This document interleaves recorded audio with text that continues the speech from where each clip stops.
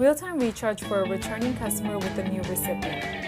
This video will show you how to sell a real-time recharge international mobile top-up for a returning customer with a new recipient.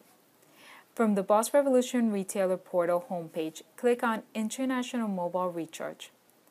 Select Real-Time Recharge. Enter the mobile phone of the sender and or recipient and click Find. The previous transactions for the sender will appear.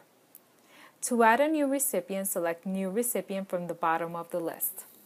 Select the country and carrier. Enter the recipient's mobile number and select the top-up amount. Click on the green arrow once you have reviewed the information. Select the preferred language for the SMS receipt. If the sender would also like a receipt via email, enter the email address. Advise the customer of the purchase confirmation SMS and promotional SMS and click Submit. The international mobile phone has now been topped up.